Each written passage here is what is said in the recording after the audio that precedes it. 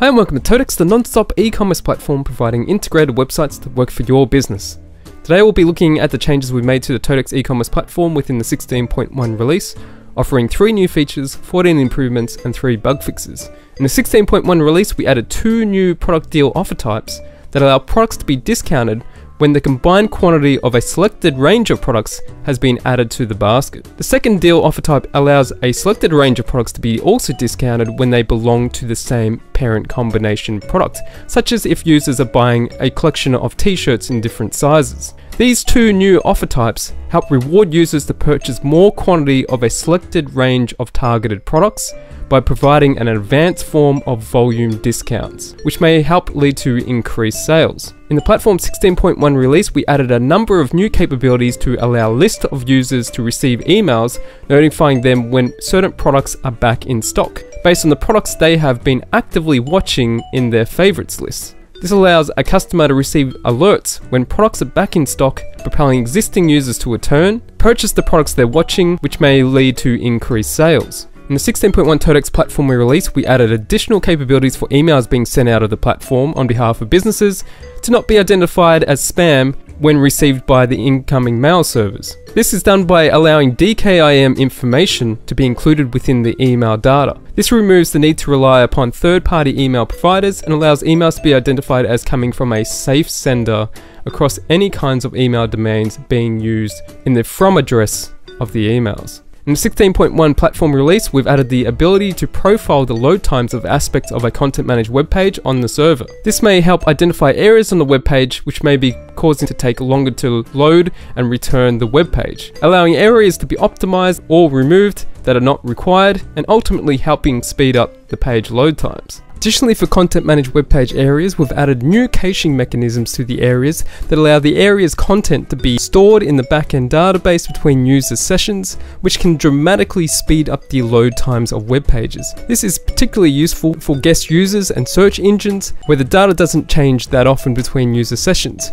We've put in caching time mechanisms so that way the content of the area can be stored and cached in the backend and it can be rapidly retrieved, which allows the increased speed up times. This may help web pages load 2 to 5 times faster depending on how the web pages are configured. In the 16.1 TOTECS platform release, for content managed web pages, we've added a new shopping list product quick add form area that allows users to quickly add products to their shopping list when they know the products that they are looking for. Additionally, in the product quick add form areas, we now have it automatically select the product if only one can be found, and that matches the search text given. This can help users add products to their basket or shopping list faster. In the user details, favorites and orders content managed web page area, now supports showing the addresses associated to the account that the user is currently using. This allows them to find out address information about the account that they could only previously find in the order checkout process.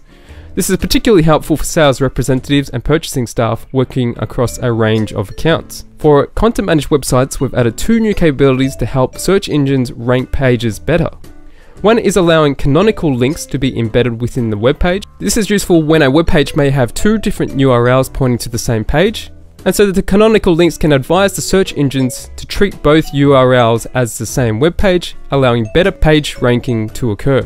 Within the product detail content manager web page area, hooks can now be set that allow search engines such as Google to get the retail pricing and stock level data that may be used by the Google Shopping Crawler to help promote the page within Google's shopping search feature. This may provide an additional lead generator tool to help users find products and navigate to your website, which may lead to more sales.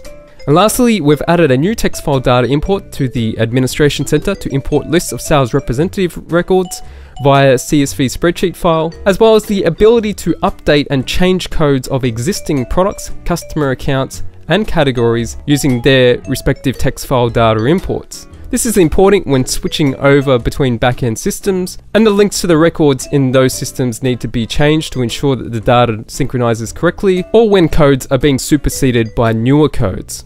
Now if that's not enough, there's a whole bunch of small improvements not featured in the release videos that can be found by going to the TOTECS website, clicking on the help menu and going into the forums, then going down into the releases forum, clicking on the TOTECS platform release 16.1, then allows you to view all the details of the changes we made during that release.